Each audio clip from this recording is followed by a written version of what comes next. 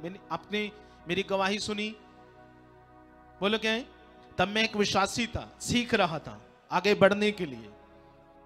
मैं सीखने के लिए एक मीटिंग में गया दूर गया बड़ी दूर गया। तो वहाँ का कम से कम आ, लंबा सफ़र था तीन दिन जाने का और तीन दिन आने का और तीन दिन वहाँ की मीटिंग का। कितने दिन हो गए? नौ दिन। और नौवें दिन में वापस जब घर आया तो मेरे पास सिर्फ़ दो सौ रुपया बचा। और जब मैं जब गया तो वही पैसे मेरे पास थे, और जो मैं काम करता था, उसके अलावा कोई और काम भी नहीं था। बोलो क्या है? और कोई काम भी नहीं था। और जब मैं वापस आया घर तो मैंने अपनी पत्नी को कुछ पैसे दिए। तो मैंने उनसे पूछा कि आपके पास कितने कहते वो तो खर्च होंगे। अब मेरे पास दो सौ रुपया, ना कोई काम है, ना पैसे हैं। आप बताओ, कितने दिन, कैसे गुजारा होगा? हाँ? पर सुनो, जब मैं आया, जैसे मान लो आज नौवा दिन है तो तीसरे दिन गाड़ी सुबह दस, ग्यारह बजे पहुँची, मैं बारह बजे घर पहुँच गया। और मैं नहा धोकर हाँ नाश्ता पानी कर कर मैं बैठ गया। जो जो कुछ मैंने सीखा था, उसको मैं फिर से रिवाइज करने लगा। अपनी बाइबल अपनी कॉपी से वो सारे वचन निकाल निकाल कर पढ़ने लगा, फिर प्रार्थना करने लगा। आपको काम तो है नहीं है फ्री है। तो कुछ लोग फ्री होते सारा दिन। वो क्या कहते हैं पंजाबी में, मंजे पे, चारपाई पे। सारा दिन बेलिया में कुछ नहीं करते। समझ आ रही है? अब मैं उस दिन अभी देखो मैं तीन ती, दो तीस तीन दिन का सफ़र करके आया हूँ। तीसरे दिन पहुँच जाऊँ तो मुझे तो रेस्ट करनी चाहिए। नहीं करनी चाहिए पर मैं फिर भी किसके काम में लगा हूँ। अब वो भी दिन निकल गया अगला दिन आ गया। तो मैंने परमेश्वर से ये विश्वास किया कि परमेश्वर मुझे काम आप दोगे। अब मैंने किसी बंदे को मैंने मिलना भी नहीं। मैं नहीं कहता कि आप मिलो ना मेरा अपना फेथ था परमेश्वर के ऊपर। जैसा परमेश्वर आपको अगुवाई करे, वैसा करना। मैं अपनी अगुवाई की, अपने विश्वास की बात आपको बता रहा हूँ। तो दूसरा दिन जब आ गया तो मैं सुबह से लेकर शाम तक पूरा दिन बिज़ी वचन और प्रेर वचन और प्रेर वचन और प्रेर तीसरा दिन आ गया, तीसरे दिन भी यही चीज़ आई, वचन प्रेर वचन प्रेर पर तीसरे दिन शाम को मेरे मन ने मुझे दोष दिया कि हे मूर्ख अगर तो किसी को मिलेगा नहीं, क्योंकि कई बार क्या देता हमारा मन? हमें दोष देता है। इसलिए ये तीन तरह का विश्वास है। एक आत्मा का, एक शरीर का और एक मन का। पर कौन सा बड़े कामों को प्रकट करता है? हमारा मन का विश्वास। जो आज हमने इस फीसियों तीन की सोलह से पढ़ा कि तुम भीतरी मनुष्यतम में सामर्थ पाकर क्या हो जाओ? क्या हो जाओ? बलवान। भीतरी मनुष्यतम हमारा मन तो हमेशा में दोष देता है क्या हो जाओ, बलवान हो जाओ तकड़े हो जाओ तो मेरा मन कभी भी दोष ना दे। इसे लिखा, योहन्ना भी कहता ना, अगर हमारा मन हमें दोष दे तो हमें हियाब नहीं होता। हमारे मन के अंदर वो धलेरी नहीं होती, ये काम परमेश्वर से हो सकता है कि नहीं हो सकता? ये पहला यूना तीन की उन्नीस, बीस में लिखा है। अगर हमारा मन हमें दोष ना दे तो हमें हियाब होता है। अगर वो दोष दे रहा है तो फिर मन में दिलेरी नहीं आती, फिर विश्वास नहीं आता। ये काम परमेश्वर कर सकता है, ये रसौली को खत्म कर सकता है, ये पथरी को खत्म कर सकता है, मेरे अंगों को सही कर सकता है, मेरी खारस को सही कर सकता है, मेरे जख्म को ये सही कर सकता है। हाँ? मेरी बीमारी को वो दूर कर सकता है। ऐसा होता है। हर एक विश्वासी के साथ होता है। क्या होता है? इसलिए ये विश्वास जो मन का है, जो बड़े कामों को प्रकट करता है, शरीर का, क्योंकि ज़्यादातर लोग शरीर का विश्वास करते हैं। वो डर का, संदेह का। शरीर का विश्वास क्या है? डर, संदेह। जिसे हम शक बोलते हैं, ये शरीर का विश्वास आत्मा का नहीं है। समझ आ रही है? जिसमें डर संदेह हमेशा ही रहता है। होगा कि नहीं होगा? समझ आ रही है? तो मैं जब तीसरा दिन आया तो मैं बैठा और मेरा मन दोष ले जाएगा नहीं तो तुझे कौन काम दे? पर मैंने अपने मन से परमेश्वर से ठान लिया कि काम परमेश्वर आप मुझे दोगे। क्या दोगे मुझे काम? आप मुझे दोगे। जो मैं काम करता था। और जब ऐसा मैंने अपने मन को शांत कराया तो मैंने तो परमेश्वर से मांगा है। अब चौथे दिन, जब चौथा दिन आ गया, चौथे दिन में मैं बैठकर क्या कर रहा हूँ? प्रेर वचन। और दोपहर को मुझे एक कॉल आती है काम की। क्या आती है? कैसे ऐसे काम में मिलो, मैं क्या काम सिलेक्ट हुआ फाइनल हो गया, किस दिन शुरू करना है? ऐसा काम खुदा ने दिया, जितने पैसे मैं महीने में कमाता था, खुदा ने मुझे दस दिन में दिए। अब परमेश्वर मुझे कहते, बीस दिन मेरा और काम कर। सिर्फ़ कि देखो, परमेश्वर आपके मन को देखता है। वो आपके दिल को देखता है। सिर्फ़ दस दिन में उतने पैसे मुझे दे दिए जितने मैं महीने में कमाता। अब तुम करके नहीं देखोगे तुम्हें कैसा तुम तो उसका जो खुदामंद ने एक, एक एक वचन दिया है। मैं देखो मैं पूरा दिन बिज़ी था। बोलो क्या था? मेरी ऐसी बड़ी गवाइयाँ हैं। ऐसे नहीं कि हालात मेरे जीवन में नहीं आए। नबियों के नहीं आए यीशु मसीह के नहीं आए चेलों के नहीं हालात किसके जीवन में नहीं आए? पर हर हालात के बाद एक बड़ी महिमा है। हर हालात के बाद किसकी महिमा? वो सर्वशक्तिमान परमेश्वर की महिमा। पर कुछ लोग समझते नहीं है। कुछ लोग तब विश्वास करेंगे जब मुसीबत सिर पर आ जाएगी। तब वचन को सुनेंगे, मानेंगे, पहले नहीं, अब काम नहीं है तो वेले हैं, तब आएँगे। तब प्रार्थना करेंगे। कुछ लोगों की आदत बीमार हो गए तब संगति में आना शुरू करेंगे। पहले नहीं आएँगे, अब काम नहीं है, पैसे नहीं है, तब आएँगे। पहले नहीं आएँगे जब उसका वचन हमें कह रहा है कि उसने छह दिन में सब कुछ बनाया और सातवें दिन आराम किया और सातवें दिन को उसने क्या दी? आशीष दी। क्या दी सातवें दिन उसने? सातवें दिन को उसने आशीष दी। और जिस परमेश्वर ने आशीष दी है, उस उस वचन के अनुसार, तुम आप मान तो रहे नहीं हो तो आशीष मिलेगी कहाँ से? कितनों को समझ आ रहा है? जब उसका वचन कह रहा है कि उसने छह दिन में सब कुछ बनाया और सातवें दिन आराम किया और सातवें दिन को परमेश्वर ने क्या दे दिए आशीष दे दी। अब तुम आशीष का वचन पूरा करो, परमेश्वर तुम्हें खुद ब खुद क्या दे देगा? आशीष दे देगा। जो तुम चाहते वो दे देगा। इसे लिखा जो शारीरिक व्यक्ति है, वो आत्मा की बातों को ग्रहण नहीं करता। पर जो आध्यात्मिक है, जो आत्मिक है, वो आत्मा की बातों को सुनता और मानता है। पर जो शारीरिक है वो शरीर की बातों पर मन लगाएगा। हमेशा शरीर की बातों पर। जो आत्मिक है, जो आत्मिक है, वो नहीं करेगा। उसे पता है मैंने कौन सी बातों पर मन लगाना है? मैंने क्या करना है? मुझे परमेश्वर ने क्या करने के लिए कहा है? वो काम करेगा। जो खुदा ने करने के लिए कहा। हाँ? कि किसी बात की चिंता मत करो। जो तुम प्रार्थना कर रहे हो, वो मेरे सामने अब तुम कर कुछ नहीं रहे। मूल्य, प्राइस अपना कोई अदा नहीं कर रहे। बोलो कहीं तुम प्राइस कुछ पे नहीं कर रहे, मूल्य कुछ अदा नहीं कर रहे। और तुम कहते मुझे परमेश्वर ये भी दे दे, ये भी दे दे, ये भी दे दे, ये भी दे दे।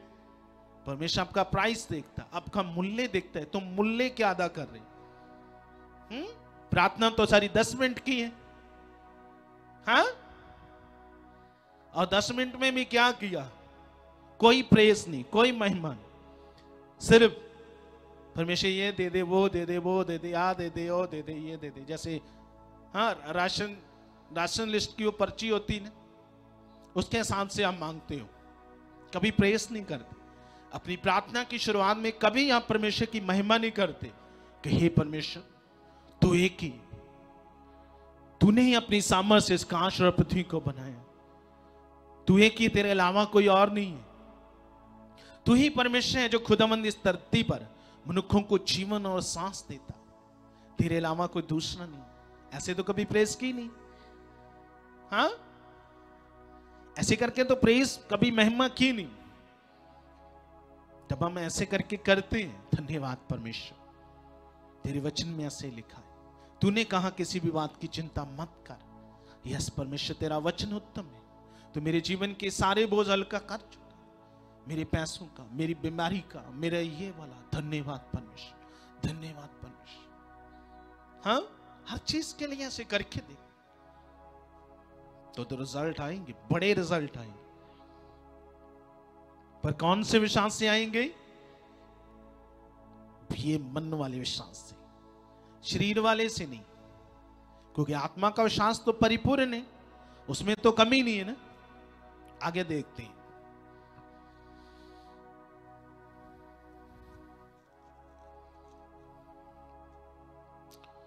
सतारा में, इसी की अफीसियों तीन की अब सतारा और विश्वास के द्वारा मसीह तुम्हारे हृदयों में बसे। किसके द्वारा बसे? विश्वास के द्वारा। मसीह तुम्हारे हृदयों में बसे कि तुम प्रेम में जड़ पकड़कर और नींव डालकर सब पवित्र लोगों के साथ भली बाती समझने की शक्ति पाओ। क्या पाओ? फिर से मैं पढ़ता हूँ ध्यान से सुनो सारे। जो पढ़ते जो जो अनपढ़ हैं लोग वो ध्यान से सुनो फिर से। लिखा विश्वास के द्वारा मसीह तुम्हारे हृदयों में बसे कि तुम प्रेम में जड़ पकड़कर और नींव डालकर नींव मतलब जैसे घर बनाते हैं तो उस, उसकी नींव डालते हैं ना सबसे पहले। तो तुम्हारी जड़ किसमें विश्वास में। तुम्हारी नींव किसमें विश्वास में। समझ आ रही है? तो लिखा, तुम प्रेम में जड़ पकड़कर और नींव डालकर सब पवित्र लोगों के साथ भली बाती समझने का शक्ति पाओ। क्या पाओ भली बाती समझने की? सब पवित्र लोगों के साथ मिलकर, जैसे कुछ लोगों का विश्वास इस मंडली में कईयों का कितना है? और कईयों का कुछ भी नहीं कहते हैं, विश्वास है और रो रहे हैं। इसीलिए बाइबल में लिखा कि पवित्र लोगों के साथ मिलकर समझने ऐसे लिखा ना? कि सब पवित्र लोगों के साथ भली बाती समझने की शक्ति पाओ, उसकी चौड़ाई, लंबाई, ऊंचाई, गहराई कितनी है? और मसीह के उस प्रेम को जान सको, जो ज्ञान से परे है, तुम परमेश्वर की सारी भरपूरी तक परिपूर्ण हो जाओ। इसमें परिपूर्ण होना है। तुम परमेश्वर की सारी भरपूरी में क्या हो जाओ? परिपूर्ण हो जाओ। फिर लिखा अब बीस में लिखा जो ऐसा सामर्थ्य हमारी विनती और समझ से कहीं अधिक काम करता है उस सामर्थ्य के अनुसार जो हम में कार्य करता है। कार्य मतलब काम करता परमेश्वर का मैं अब जहाँ समर्थी हूँ जो तुम विनती हाँ करते उस चीज़ के लिए मैं उससे भी कई गुना क्या करता हूँ? ज़्यादा कर दो, मैं तो ऐसा सामर्थ्य पर अगर आपको समझ नहीं है कि जिस परमेश्वर के आगे मैं विनती कर रही हूँ, मैं प्रार्थना कर रही हूँ, वो तो मेरी सोच से भी, मेरी समझ से भी क्या करता है? ज़्यादा करता है। जब आपको पता है ज़्यादा करता है तो फिर अपनी बुद्धि मत लगाओ। हुँ? जब पता है वो ज़्यादा करता है, ज़्यादा करता है हमारी समझ से तो फिर बुद्धि लगाने की ज़रूरत है। हाँ? यूसुफ अपनी पवित्रताई में खड़ा रहा। क्या खड़ा रहा? वो अपनी पवित्रताई में खड़ा रहा। चाहे उसे जेल जाना पड़ा, पर उसने जेल जाकर भी मन खराब नहीं किया।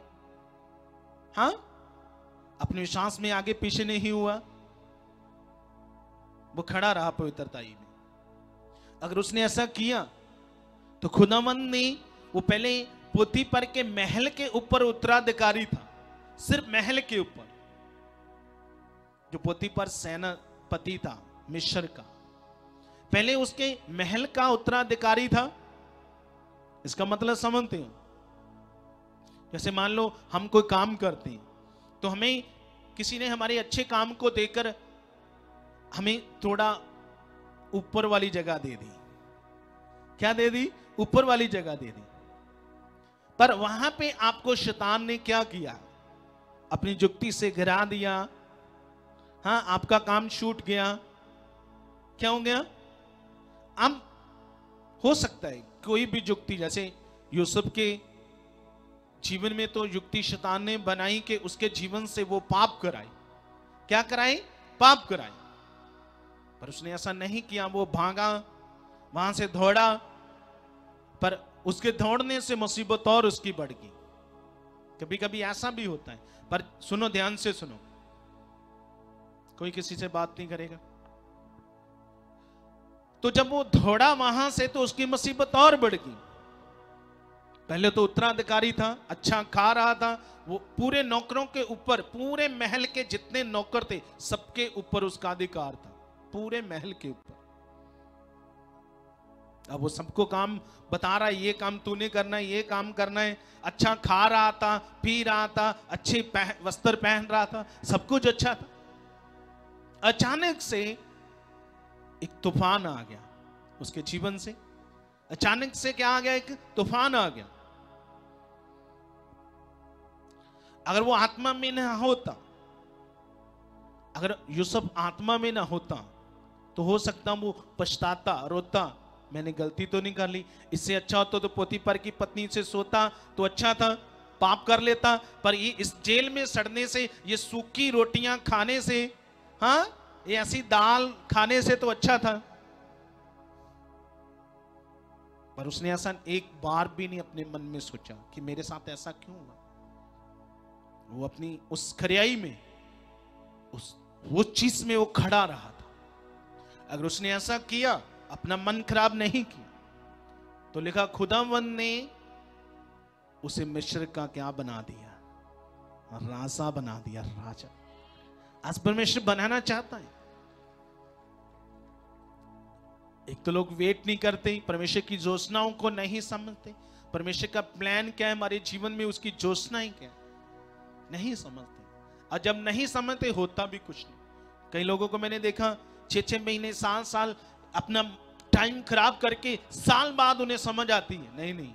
जो वचन कहता उसे पूरा करना। इधर उधर भी कई बार घूम आते क्या थे इधर उधर भी जाकर देख लेते, नहीं होता क्योंकि होना किससे इसलिए मैं कहता हूँ, मैं दावे से बोल सकता हूँ, जब तुम वचन पूरा नहीं करोगे, जो वचन का नियम है तुम पूरा नहीं करोगे, तुम कहीं पर भी चले जाओ। जब यीशु मसीह ने कर पाया तो और कैसे कोई कर लेगा?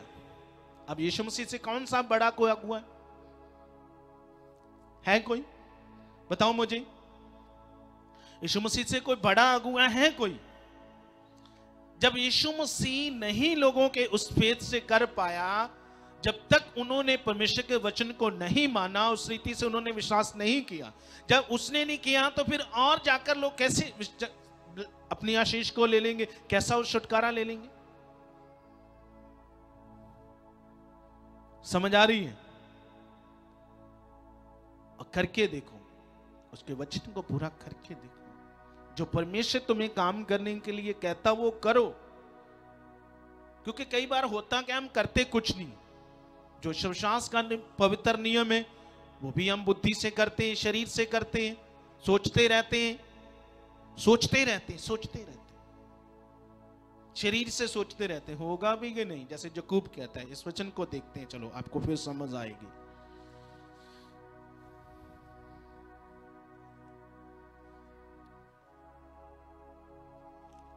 जकूब की पत्री।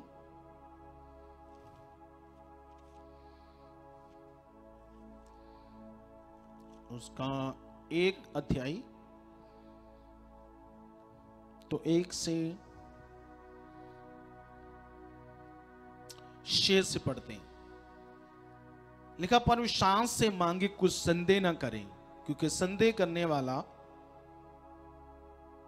मिल गया सबको। नहीं है तो नोट करो।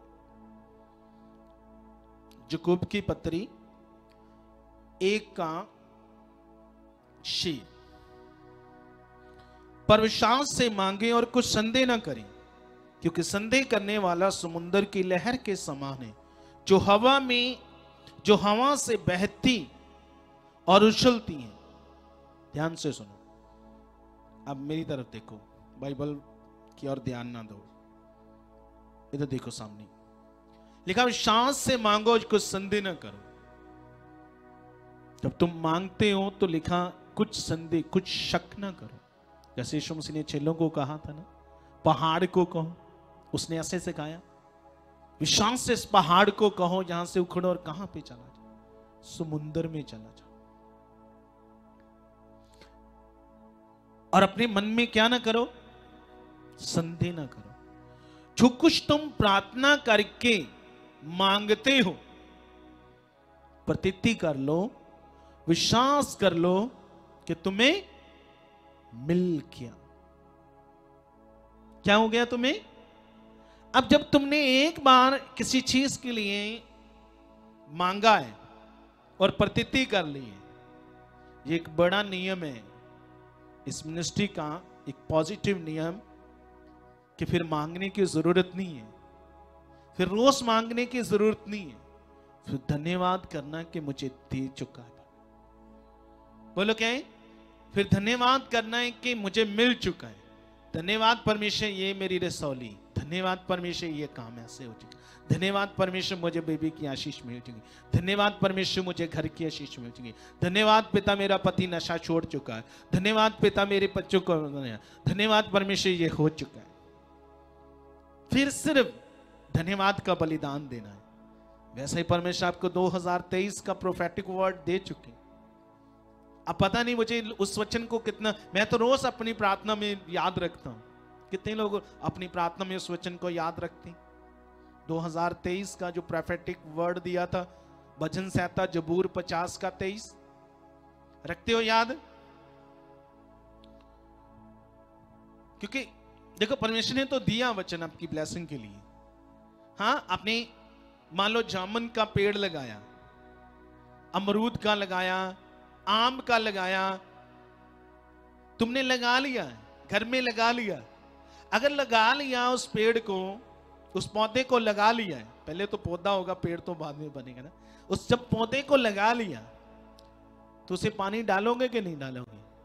डालोगे रोज के नहीं डालोगे? कि नहीं, ज़रूरत नहीं, एक बार डाल लिया, दूसरी बार डालने की ज़रूरत नहीं, तीसरी बार नहीं।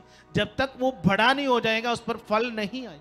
तुम डालते रहोगे कि नहीं उसकी सेवा करते रहोगे कि नहीं करते? कि नहीं नहीं, ज़रूरत नहीं। बस एक बार पौधा लगा लिया, एक बार पानी डाल दिया, बाद में ज़रूरत नहीं। कि नहीं, ज़रूरत है। जिस चीज़ को खुदावंद आपका, वो अपना वचन देता है तो तुमने उसे करते रहना है, रोज करते रहना बोलो क्या है? तुमने रोज उसे करते रहना समझ आ रही है? रोज करना है, रोज। रोज धन्यवाद का बलिदान देना है, क्योंकि उसका वचन क्या कि धन्यवाद के बलिदान से किसकी महिमा कर?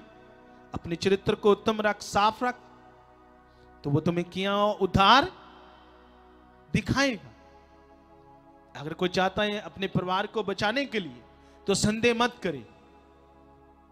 हाँ?